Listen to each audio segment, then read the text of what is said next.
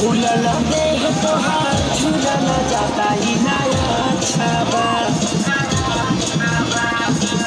फूलल देह तोहार झूलल जाता ही नया छाबा अच्छा